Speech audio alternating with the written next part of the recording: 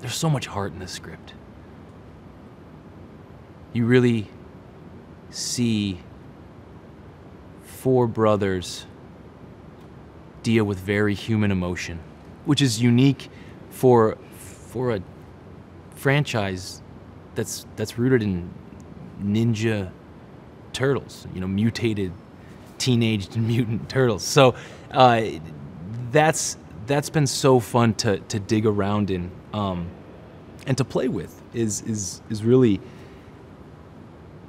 how how human these four are beneath beneath the green, uh, and and for Leo, I think it's dealing with really keeping keeping his family together at all costs. This time around, I think Leo has the confidence that he's always sought as a leader. Uh, you know, and he, he finally has earned a lot of the respect of his brothers uh, and a lot of the trust um, that, that he is the man for the job, that he does know what he's doing. So now we have, uh, this time around, Shredder's escaped, which for Leo is something he, he never thought would be possible.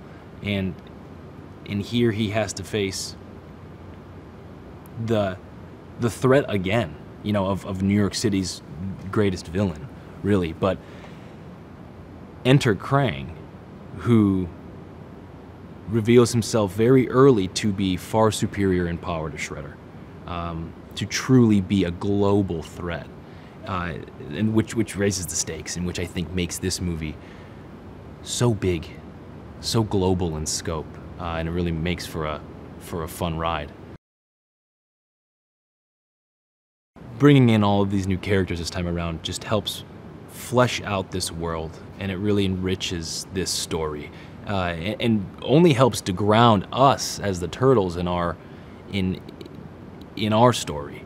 Uh, we're now more than ever we're surrounded by by allies by other vigilantes, by uh, people all trying to beat back Shredder and beat back Krang and to, and to save New York City. And so that helps that helps build that momentum and build that, that, that energy of saving New York City. I got to meet Stephen and, um, and Gary, and the minute you meet them, you get it. It clicks. And you see Bebop, you see Rocksteady, and they've got this wonderful dynamic. Uh, and those it doesn't get any those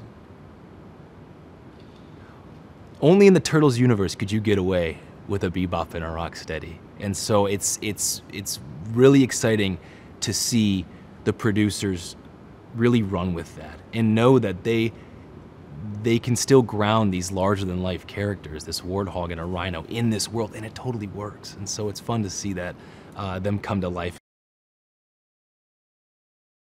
Casey Jones is is such an icon, and to have Stephen come on board uh, was so fun.